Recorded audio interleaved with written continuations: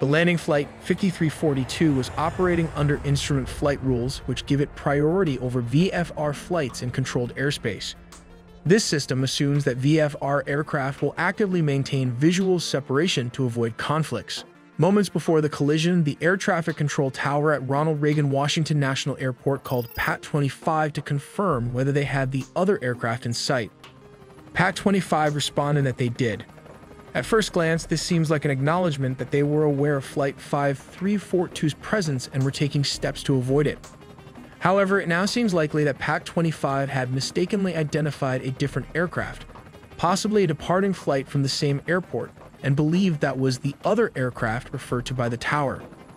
Tragically, PAT 25 may not have realized that Flight 5342 was descending directly into its path.